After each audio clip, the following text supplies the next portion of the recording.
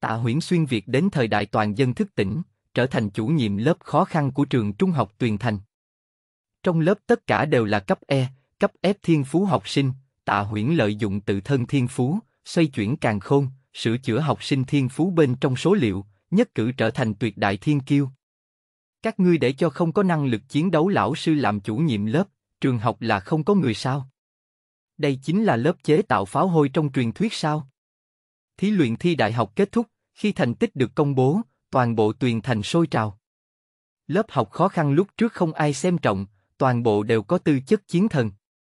Chủ tịch tập đoàn năng lượng nào đó. Nghĩ hết mọi biện pháp, để cho con nhà tôi tiến vào lớp của thầy Lý. Người giàu nhất. Cho dù là ghế dự thính cũng không sao. Tất cả phụ huynh đều điên cuồng. Chương 1 Tiếp nhận học vây khốn ban. Bạn đang nghe tại truyện chấm audio. Đã có lỗi xảy ra trong quá trình lấy test. Chương 2 Linh truyền nhân, trực tiếp cất cánh. Bạn đang nghe tại truyện chấm audio. Đã có lỗi xảy ra trong quá trình lấy test. Chương 3 900 vạn sức mạnh tới tay. Bạn đang nghe tại truyện chấm audio.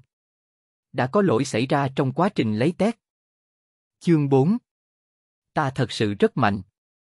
Bạn đang nghe tại truyện chấm audio. Đã có lỗi xảy ra trong quá trình lấy test. Chương 5 Chủ nhiệm lớp của ta là bảo tàng lão sư. Bạn đang nghe tại truyện chấm audio. Đã có lỗi xảy ra trong quá trình lấy test. Chương 6 Chính là vì giảm bớt ngươi dạy học áp lực. Bạn đang nghe tại truyện chấm audio.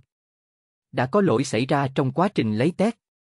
Chương 7 Tương lai có hy vọng thiên tài.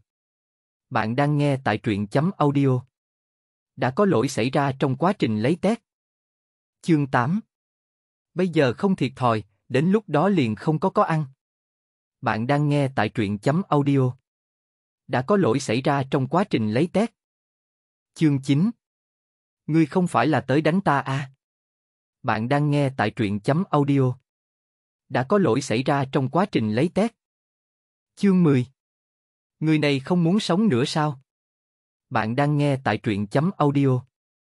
Đã có lỗi xảy ra trong quá trình lấy test.